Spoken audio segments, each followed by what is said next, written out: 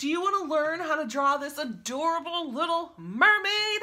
Well, then you are going to need something to draw on, something to create your doodle with, and something to erase any mistakes that you might make. And do not forget the markers or the pen to outline your doodle when you are done.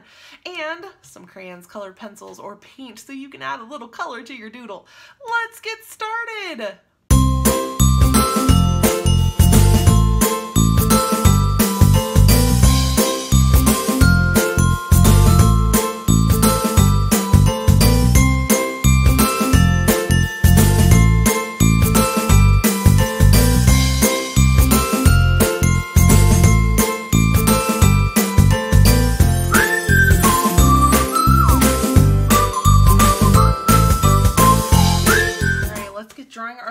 Cartoon mermaid. I am so excited. One of my favorite movies when I was little was The Little Mermaid. So we are going to start with our paper vertical. So it is going to be skinny this way, but it is going to be nice and tall this way. That way we can fit in her fin and everything else that we have to do to create our own little mermaid. So I am going to start with a curved U shape here. And that is going to be her face shape. And on this side, I'm gonna make just a small little ear. And you can do one on both sides if you want. I think I'm gonna try to have her hair kind of covering the other ear. So right here where this ear is, I'm gonna create kind of an S curve coming down into that ear. And then I'm gonna come in just a little bit with a kind of like a V shape here. And I'm gonna come out and continue down into that line. So now we've got what would be kind of her bangs, kind of wisping over there. And next, we're gonna come down on each side of her face and create her neck. So just two little lines. And then that's it for right now. I'm gonna come down from those two lines and I'm going to make two curved shapes. And these are gonna be the seashells for her top. So we're gonna make one, two, and then we're gonna come in at a slight curve and keep them connected in at a slight curve. So now we have the two shapes there, and then I'm gonna come in at an angle here. So we wanted to have kind of a fanned out look. So you can go in and add a couple little lines for the shells. And then at the bottom here, we're gonna angle out and out, and then we're gonna just create a nice straight line across. And that will help create her little shirt. And we're gonna draw a line in the middle there to help connect them even more. So now I'm gonna come down from both of those shells and I'm going to come down just a little bit. Like we are talking maybe a half an inch. And that will be for each side of her stomach. And now I can come back up here and I can come out with a little curve out with a little curve and then I can curve around and down for her arms. And I'm gonna stop about even with the stomach line because her arms are just gonna kind of be floating behind her tail. So now right here I can go ahead and connect these with a nice U shape and I can add in a very small number six for a belly button. And then I'm going to curve around here, make a nice curved line. And then we're gonna come down into our our uh, fin. So what I want to do is I want to create this area where it kind of connects around her body. So we're just going to make what kind of looks like a belt.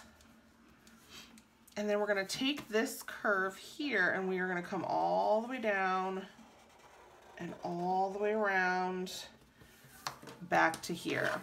And now here, this is kind of where her tush would be. So we're going to curve around and then we're going to come in and we're going to curve back around to connect to the tip of the tail. So now we have what kind of looks like a genie. She's kind of got that tail like the genie would. So go ahead and finish your lines going down. So now her arms are just kind of hidden behind her back. If you want to go ahead and give her some lines here so it's more like a bikini top, you can. I'm going to add some lines just because there's an awful lot of space up there. That helps kind of bring it together a little more, I think. Next, we're going to add in the flipper part of her tail. So we're going to create a nice curve. And this kind of looks like a leaf shape. So it's a little bit of an organic shape, could kind of be like a teardrop shape. Mine's going off the paper and that is perfectly fine. And there's nothing wrong with that.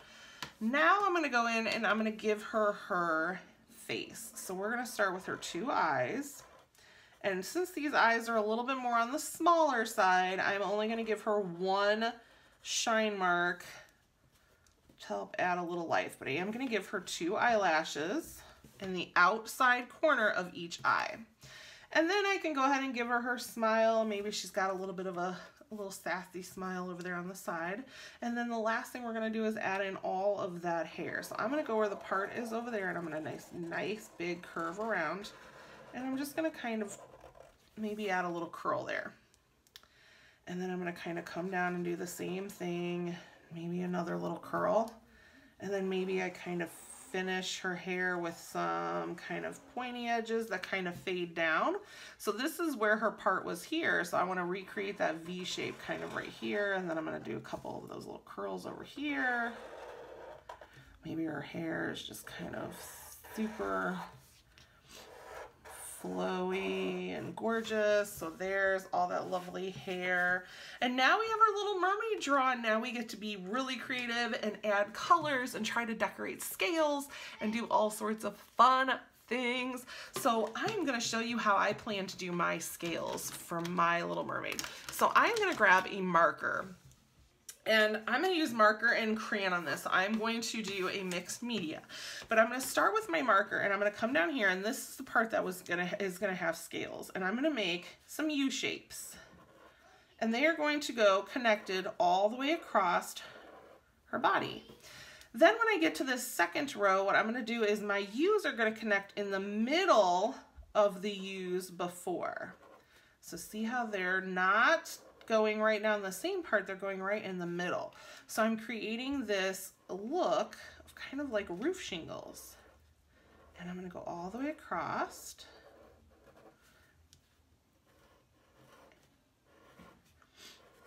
And the smaller you go, the more work you are gonna have to do. So if you wanna make these a little bit easier, then maybe make them slightly bigger or make your drawing a little bit smaller. That's entirely up to you. So I am going to continue this. I'm going to speed this up and finish all of my little scales.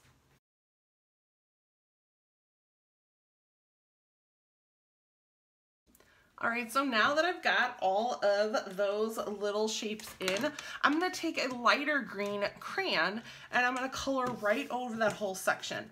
And that will help add a little bit more to that design. And it gives us the look of having that fish scale without us having to really do a whole lot of work. So I'm going to go ahead and color this in with my green and then I can add in some shadows and do a whole bunch to help bring her to life, but that is how I'm going to add those scales to her. So now I'm going to go through and finish coloring my little mermaid here. So grab your crayons, your markers, your colored pencils, your paint, whatever it is that you plan to color with, and let's go ahead and get started on making our little characters come to life.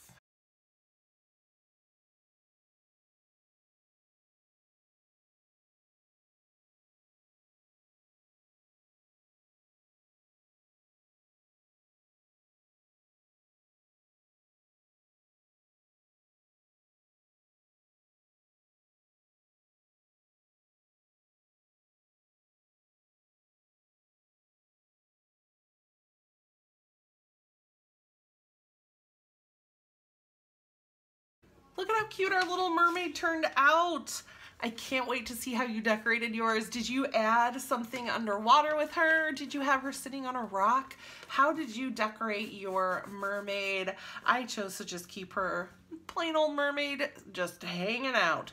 I hope that you had fun with today's doodle, and if you did, please like, subscribe, and share. Make sure you look for the giveaway that will be happening this Friday, and comment below. I cannot wait to see you again. Have a great day. Goodbye.